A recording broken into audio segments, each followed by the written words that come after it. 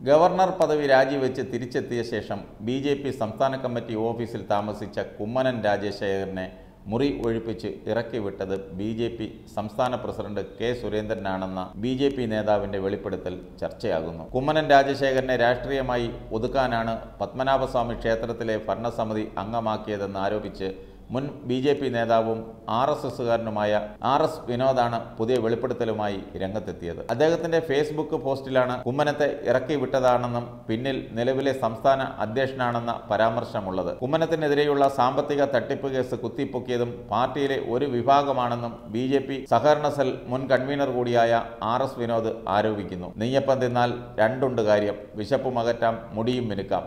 രാജേട്ടൻ ഇനി മിണ്ടില്ല എന്നിങ്ങനെയാണ് വിനോദിന്റെ ഫേസ്ബുക്ക് പോസ്റ്റ് ആരംഭിക്കുന്നത് തന്നെ. കുമ്മനം വേട്ടയാടപ്പെടാൻ തുടങ്ങിയിട്ട് നാളേറെയായി. അരിയാഹാരം കഴിക്കുന്നവർ മനസ്സിലാക്കട്ടെ. ജില്ലാ മജിസ്ട്രേറ്റ് അധ്യക്ഷനായ ശ്രീ പത്മനാഭസ്വാമി ക്ഷേത്ര ഭരണസമിതിയിൽ കുമ്മനത്തെ ഉൾപ്പെടുത്തിയതോടുകൂടി അദ്ദേഹത്തെ എന്നേക്കുമായി വായടപ്പിച്ചു. ഇനി കുമ്മനം രാഷ്ട്രീയം പറയില്ല. ഒരു വെടിക്ക് രണ്ട് പക്ഷി. ഗവർണർ പദവി കൊടുത്ത് നാടുകടത്താൻ ശ്രമിച്ച ക്ഷുദ്രശക്തികൾ തന്നെയാണ് പത്മനാഭസ്വാമി ക്ഷേത്രത്തിൽ കുമ്മനത്തെ നിയോഗിച്ചതിന് പിന്നിലെന്നും വിനോദ് ആരോപിച്ചു. വിനോദിന്റെ ഫേസ്ബുക്ക് പോസ്റ്റ് ഒന്ന് കേൾക്കാം.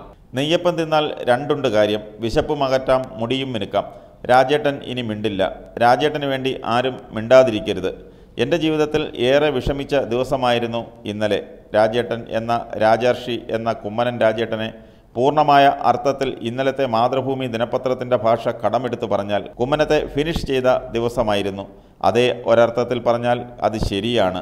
സമീപ ദിവസങ്ങളിലെ സംഭവവികാസങ്ങൾ പരിശോധിക്കുമ്പോൾ കൃഷി തുല്യനായ കുമ്മനം എന്തുകൊണ്ട് ചിലർക്ക് അനഭിമതനാകുന്നു? ഇന്ന് ജീവിച്ചിരിക്കുന്നവരിൽ തന്റെ ജീവിതം മുഴുവൻ ഒരു പ്രസ്ഥാനത്തിന് സമർപ്പിച്ച ഒരു സാമൂഹ്യ പ്രവർത്തകൻ കേരളത്തിൽ വേറെയുണ്ടോ? ഇല്ലെന്ന് അർത്ഥശങ്കയ്ക്കിടയില്ലാതെ പറയാം. എപ്പോഴൊക്കെ രാജേട്ടൻ എന്ന മഹായോഗി ഏതെങ്കിലും മേഖലയിൽ ഔന്നിത്യം നേടുന്നുവോ അപ്പോഴെല്ലാം അദ്ദേഹം നിർദാക്ഷിണ്യം വെട്ടിനിരത്തപ്പെടുന്നു. വെറുതെ പറഞ്ഞതല്ല ഒന്ന് വെറുതെ ചരിത്രം ചികഞ്ഞാൽ മതി. പണ്ട് തനിക്ക് ലഭിച്ച ജോലി ഫുഡ് കോർപ്പറേഷൻ ഓഫ് ഇന്ത്യയിൽ ജനറൽ മാനേജർ സ്ഥാനം പുല്ലുപോലെ വലിച്ചെറിഞ്ഞ് സമാജ സേവനത്തിനിറങ്ങിയ മനുഷ്യൻ പിന്നീട് ഗവർണർ പദവിയും അലങ്കരിക്കുന്നത് നാം കണ്ടു. കുമ്മനം വേട്ടയാടപ്പെടാൻ തുടങ്ങിയിട്ട് നാളേറെയായി. എപ്പോഴൊക്കെ അദ്ദേഹത്തിന് ഉന്നത പദവികൾ ലഭിച്ചിട്ടുണ്ടോ അപ്പോഴൊക്കെ കൂർത്ത പാരകൾ പിന്നാലെ പോയിട്ടുണ്ട്. സാരമില്ല കഴിഞ്ഞ ദിവസം വരെ. ശ്രീ പത്മനാഭസ്വാമി ക്ഷേത്രത്തിൽ കേന്ദ്ര സർക്കാരിന്റെ പ്രതിനിധിയായി കുമ്മനത്തെ പോസ്റ്റ് ചെയ്തത് ആരായിരുന്നു? അതിന്റെ ബുദ്ധികേന്ദ്രം അരിയാകാരം കഴിക്കുന്നവർ മനസ്സിലാക്കട്ടെ. ജില്ലാ മജിസ്ട്രേറ്റ് അധ്യക്ഷനായ ശ്രീ പത്മനാഭസ്വാമി ക്ഷേത്ര ഭരണസമിതിയിൽ കുമ്മനത്തെ ഉൾപ്പെടുത്തിയതോടുകൂടി അദ്ദേഹത്തെ എന്നേക്കുമായി വായടപ്പിച്ചു. ഇനി കുമ്മനം രാഷ്ട്രീയം പറയില്ല. ഒരു വെടിക്ക് രണ്ട് പക്ഷി രാജേട്ടൻ ഇനി മിണ്ടില്ല. രാജേട്ടന് വേണ്ടിയും ആരും മിണ്ടില്ല.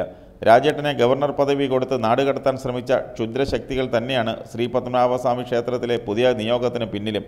ഇത് വൃത്തികെട്ട കളി കണ്ടിട്ടും കേട്ടിട്ടും മിണ്ടാതിരിക്കുന്നവർ ഓർക്കുക. പ്രസ്ഥാനത്തിനു വേണ്ടി ജീവൻ ഹോമിച്ച ധീര ബലിദാനികളുടെ ചോര കൊണ്ടാണ് നിങ്ങളുടെ സിംഹാസനങ്ങൾ ബലപ്പിച്ചിട്ടുള്ളത്. ഒരു മുണ്ടും ഒരു ഷർട്ടും ഒരു തോർത്തും ഒരു കറുത്ത സഞ്ചിയും മാത്രം മതി രാജേട്ടന്. എന്നെപ്പോലെ എല്ലാവർക്കും അറിയുന്ന ഇതിപ്പോൾ പറയാൻ ഒരു കാരണം കൂടിയുണ്ട്. സംഘനിർദ്ദേശപ്രകാരം ഗവർണർ പദവി ഉപേക്ഷിച്ച് വന്നതിന് ശേഷം തെരഞ്ഞെടുപ്പിൽ മത്സരിച്ച് അദ്ദേഹത്തെ തോൽപ്പിച്ച് നാണം കെടുത്തിയിട്ടും അദ്ദേഹത്തിന് സംസ്ഥാന കാര്യാലയത്തിൽ ഒരു മുറിയുണ്ടായിരുന്നു.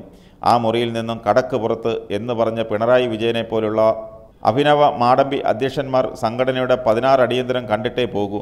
സംസ്ഥാന കാര്യാലയത്തിൽ നിന്നും ഇറക്കിവിട്ട രാജേട്ടൻ തന്റെ തോൾ സഞ്ചിയും തുണികളുമെടുത്ത് നേരെ പോയത് ആറന്മുളയിലെ ശബരി ബാലാശ്രമത്തിലേക്കാണ്. എന്നാണ് വിശ്വസനീയമായ കേന്ദ്രങ്ങളിൽ നിന്നും അറിയാൻ കഴിഞ്ഞത്. തെറ്റുണ്ടെങ്കിൽ തിരുത്തട്ടെ ഇറക്കി വിട്ടവർ തന്നെ. എന്നെ പ്രതിയാക്കി വ്യാജ കോഴ ആരോപണം മെനഞ്ഞ് രാജേട്ടൻ അടക്കമുള്ള സംസ്ഥാന നേതാക്കളെ ഉൾപ്പെടുത്താൻ ശ്രമിക്കുകയും വാർത്തകൾ ചാനലുകൾക്ക് ചോർത്തി നൽകുകയും ചെയ്തു. ഈ വിഷയം പാർലമെന്റിനകത്ത് പോലും ചർച്ച ചെയ്യപ്പെടുന്ന വിധത്തിലേക്ക് സ്വന്തം പാർട്ടിയെ ചെളിവാരി എറിയാൻ ശ്രമിച്ച ശക്തികൾ ഈ പ്രസ്ഥാനത്തിന്റെ കടയ്ക്കൽ കത്തിവെച്ചുകൊണ്ടിരിക്കുന്നു. കാലം മാപ്പ് തരില്ല എന്ന് മാത്രമേ ഇതിനെക്കുറിച്ച് പറയാനുള്ളൂ. കുമ്മനത്തെ ആറന്മുളയിലെ കള്ളക്കേസിൽ കുടുക്കിയത് ആരാണ്? ഹരികൃഷ്ണൻ നമ്പൂതിരി എന്നാണ് ഉത്തരമെങ്കിൽ ആ മണ്ടത്തരം ഞാൻ വിശ്വസിക്കുന്നില്ല. പാർട്ടിക്കുള്ളിലെ ഹരികൃഷ്ണന്മാരാണ് ഹരികൃഷ്ണന്റെ ഫോൺ കോളുകൾ ബന്ധപ്പെട്ടവർ പരിശോധിക്കട്ടെ. പാർട്ടി ഒരു നിഷ്പക്ഷ അന്വേഷണം നടത്തട്ടെ. അപ്പോഴറിയാം കതിരും പതിരും നിയമം പോലുള്ള വീണ്ടും ജയസാധ്യതയുള്ള ഒരു നിയോജക മണ്ഡലത്തിൽ കുമ്മനത്തെ മത്സരിപ്പിക്കണമെന്നുള്ള ആവശ്യവും ഇതോടെ കൂമ്പടഞ്ഞു എന്ന് കരുതേണ്ടിയിരിക്കുന്നു. ആ സീറ്റ് കണ്ണുവച്ച യുവ നേതാവിന് തന്നെ പാർട്ടിയിൽ നിന്നും പുറത്താക്കിയ തീർത്താൽ തീരാത്ത പകയവും കുമ്മനത്തോടുണ്ട്. ശ്രീ പത്മനാഭസ്വാമി ക്ഷേത്രത്തിലെ ഭരണസമിതി അംഗം എന്ന പദവി കണ്ട് സോഷ്യൽ മീഡിയയിൽ രാജേട്ടന്റെ വിവിധ ഫോട്ടോകളിട്ട് ആഘോഷിച്ചവർ ചിന്തിച്ചില്ല ഈ സാധു മനുഷ്യനോട് ചെയ്ത ചതിയുടെ ഗ്രാവിറ്റി. എന്തിനും ഏതിനും പ്രസ്ഥാനത്തിന്റെ വളർച്ചയെ സ്വന്തം അന്തസ്സായി കാണുന്ന സംഘടനയ്ക്ക് വേണ്ടി സാമൂഹ്യ മാധ്യമങ്ങളിൽ പ്രതിരോധം തീർക്കുന്ന പാവം സൈബർ പോരാളികളായ പ്രവർത്തകരെയും ഇക്കൂട്ടർ വഞ്ചിച്ചു. രാജേട്ടനെ കള്ളക്കേസിൽ കുടുക്കി നാലാം പ്രതിയാക്കിയപ്പോൾ ഈ വിഷയം അന്നത്തെ അന്തിച്ചർച്ചയ്ക്ക് വിഷയമാക്കാൻ ഉച്ചയ്ക്ക് നിശ്ചയിച്ചിരുന്ന എല്ലാ ചാനലുകളും എന്തുകൊണ്ടാണ് അതിൽ നിന്നും പിന്മാറിയത്? കാരണം പറയാം ഈ വിഷയമാണെങ്കിൽ ഞങ്ങൾ ചർച്ചയ്ക്കില്ല എന്ന് ഇടതുപക്ഷ ചർച്ചാ തൊഴിലാളികൾ ചാനലുകളെ അറിയിച്ചു. അവർക്കും അറിയാമായിരുന്നു ഇതൊരു ഫാബ്രിക്കേറ്റഡ് കേസാണെന്ന്. ഇതുമാത്രം പോരെ കുമ്മനം എന്ന മഹാമനുഷ്യനെ മനസ്സിൽ കൊണ്ടു നടക്കാൻ. എന്തുകൊണ്ട് കേരളത്തിൽ അങ്ങോളം ഇങ്ങോളം പ്രവർത്തകർ സംഘടന വിടുന്നു? കാവി പതാക നെഞ്ചോട് ചേർത്ത് പിടിച്ചിരുന്നവർ കൊല്ലം വാളോങ്ങുന്നവരുടെ കൊടിക്ക് കീഴിൽ ചേക്കേറുന്നു. എത്രത്തോളം നെഞ്ച് നീറിയിട്ടാവും അവർ സംഘടനയെ ഉപേക്ഷിച്ച് പോകുന്നത്? സംഘം പരിശോധിക്കണം. എന്നും സംഘപരിവാർ പ്രസ്ഥാനത്തോട് ചേർന്ന് നിന്നിട്ടുള്ള കേരളത്തിലെ ഒരു പ്രബല സമുദായത്തെ അവഗണിച്ചുകൊണ്ട് അതേ സമുദായ അംഗമായതിന്റെ പേരിൽ ബൂത്ത് തലം മുതൽ സംസ്ഥാന കമ്മിറ്റിയിൽ നിന്ന് വരെ സ്ഥാനഭ്രഷ്ടരാക്കപ്പെട്ടവരെ ആര് സമാധാനിപ്പിക്കും? ഒരു സമുദായത്തിന് മാത്രം മുൻഗണന കൊടുക്കാമെന്നും അവർക്ക് മാത്രം ചുമതലകൾ കൊടുക്കാമെന്നും ആർക്ക് മുന്നിലാണ് സംസ്ഥാന നേതൃത്വം സത്യവാങ്മൂലം സമർപ്പിച്ചിരിക്കുന്നത്? അങ്ങനെ ചെയ്തിട്ടുണ്ടെങ്കിൽ ഒരു ജാതി ഒരു മതം ഒരു ദൈവം എന്ന കേരളീയ സങ്കല്പത്തിനെതിരല്ലേ ശ്രീനാരായണ ഗുരുദേവൻ ഇതൊക്കെ പൊറുക്കുമോ? രാഷ്ട്രീയ സ്വയം സേവക സംഘം മുന്നോട്ട് വയ്ക്കുന്ന ഹൈന്ദവ ഏകീകരണം എന്ന ബേസിക് ഫോർമുല തകർക്കുന്ന സംസ്ഥാന ദേശീയ നേതാക്കളുടെ ഇത്തരം സംഘടനാ വിരുദ്ധ നിലപാടുകൾക്ക് കൂച്ചുവിലങ്ങിടണ്ടേ? സംസ്ഥാന നേതൃത്വം ആത്മപരിശോധന നടത്തട്ടെ. മിസോറാമിൽ ഗവർണർ പദവി വഹിച്ചതിന് കേന്ദ്ര സർക്കാർ ശമ്പളമായി നൽകിയ മുപ്പത് ലക്ഷം രൂപയിൽ ഇരുപത്തെട്ട് ലക്ഷം രൂപയും വിവിധ ചാരിറ്റി സംഘടനകൾക്കായി വീതിച്ച് നൽകിയ ഈ കൃഷിവര്യനെ ആർക്കാണ് ഭയം? ആരാണ് ഭയക്കുന്നത്? ഭയക്കുന്നവർ തന്നെയാണ് ഇദ്ദേഹത്തെ വെട്ടിനിരത്താൻ ശ്രമിച്ചുകൊണ്ടിരിക്കുന്നത്. C P M V S അച്യുതാനന്ദനോട് ചെയ്യുന്ന അതേ ക്രൂരത തന്നെയാണ് ഇവിടെ കുമ്മനത്തോടും ചെയ്യുന്നത്.